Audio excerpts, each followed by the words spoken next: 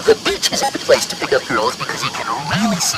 And most beaches are with chicks. And, and, and, and, and, and,